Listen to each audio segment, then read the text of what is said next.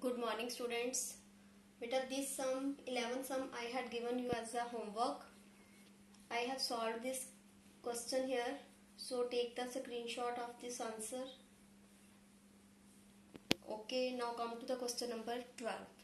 Beta come to the question number 12. Express as a sum of twin primes. देखिए अगर twin primes word आ जाए तो जो number आपको दिया है जैसे 36 है ओके जो नंबर आपको दिया है, आपने उसका हाफ़ कर लेना है। हाफ़ आ गया 80 ट्विन प्राइम्स में आपने एक ही पेयर बनेगा ट्विन प्राइम्स का। ये नहीं कि आप इसका पेयर बना दो five plus thirty one this is wrong कई बार स्टूडेंट्स ये वाला पेयर बना के आ जाते हैं। उन्होंने कोई प्राइम्स थोड़ी बोला, उन्होंने बोला twin primes twin primes means आपने किया था ना ट्विन प्राइम्स पहले आपको करवाया था मैंने। सिक्स सम आया था हमारा ट्विन प्राइम्स का। ट्विन प्राइम में दोनों नंबर ट्विन्स होते हैं प्राइम होते हैं और उसके बीच में एक कंपोजिट नंबर होता है। तो आपने क्या करना है? इसका हाफ़ कर लिया 18 तो इससे ऊपर वाला नंबर पीछे वाला नंबर और आगे वाला नंबर इन दोनों नंबर्स को आपने प्लस किया 17 और 19 हो गया 36 दोनों प्राइम नंबर्स के बीच में एक कंपोजिट नंबर तो इसका आंसर क्या आ जाएगा? 17 प्लस 19 इसके अलावा इसका कोई और पेयर नहीं बनेगा, इसका एक ही पेयर बनेगा। जब आपके पास ट्विन प्राइम्स आ जाए। Clear now come to the 84 84 का हाफ़ क्या आ गया? 42 okay 42 is a composite number तो इसका बिफोर और आफ्टर नंबर ले लिया। 41 प्लस 43 ये आपके पास आ गया 84 क्लियर नाउ कम टू 120 120 का हाफ़ कितना आ गया? दैट इज़ 60 ये composite number 59 and 61 that is 120 is it clear to all of you now come to the sum number 13 बेटा now come to the question number 13 find the possible missing twins for the number so that they become twin primes okay आपको इन्होंने दिए हैं prime numbers ठीक है? तो आप, इन्होंने बोला है कि इसका ट्विन प्राइम नंबर पता करो। अब 29 क्या है? प्राइम नंबर 29 के बाद क्या आता है? ये प्राइम है। 30 that is a composite number उसके बाद 31 क्या आ जाता है? प्राइम हो गए ये ट्विन प्राइम्स ट्विन प्राइम की क्या कंडीशन होती है?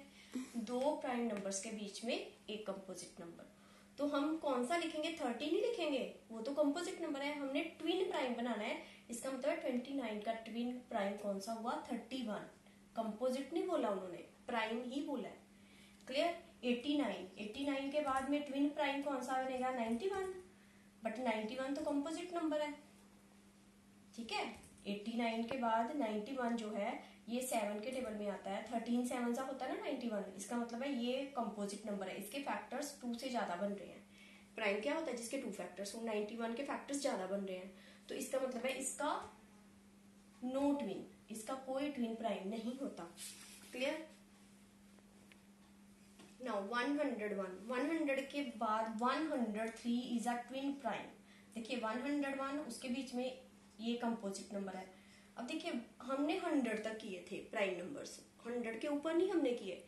100 से ऊपर जो आपने करने हैं, आप 3 से 2 से 3 5 7 इलेवन थर्टीन अगर ये वाले टेबल्स में ये नंबर आ रहा है तो वो कंपोजिट नंबर होगा अदरवाइज़ वो प्राइम नंबर होगा। टू के टेबल में भी ये नंबर नहीं आता क्योंकि थ्री क्या है? और नंबर टू की डिविजिबिलिटी क्या होती है? यहाँ पे इवन नंबर होना चाहिए। थ्री की divisibility one plus three four है। इसका मतलब थ्री के टेबल में भी नहीं आ रहा। हम, हमें पता है थ्री की डिविजिबिलिटी क्या है? दोनों ये पूरे नंबर को प्लस किया, फिर देखा कि थ्री के टेबल में आ रहा है। फोर के थ्री के टेबल में भी नहीं आ रहा। फाइव की डिविजिबिलिटी लास्ट डिजिट ज़ीरो और फाइव वो भी नहीं हो रहा। सेवन से अगर आप डिवाइड करोगे इस नंबर को तो सेवन का क्या आ गया? रिमाइंडर बच रहा है फाइव सेवन से भी नहीं डिवाइड हो रहा. इलेवन की डिविजिबिलिटी आपको करवाई थी, उससे भी नहीं सॉल्व हो रहा. थर्टीन के टेबल में भी नहीं आ रहा. इलेवन के टेबल में भी नहीं आ रहा. तो अब हम क्या बोलेंगे इसको? ये क्या है? प्राइम नंबर तो इसका मतलब है 101 का ट्विन प्राइम क्या हो गया? 103 clear up to this today we will do complete your work up to 1 to 13 sounds of exercise. Exercise 2.3 clear?